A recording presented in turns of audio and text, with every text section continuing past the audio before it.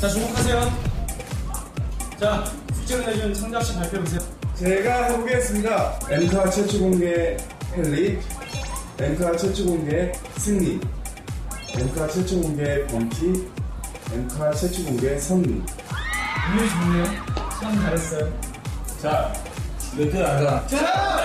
의심의식 일어나세요. 아, 엑소는 엑소 트렌드에서 미팅으로 어린이고 이지에서 이어서 새로운 스타라는 의미가 분류됐습니다. BAP는 베스트 앱솔루트 퍼펙트입니다.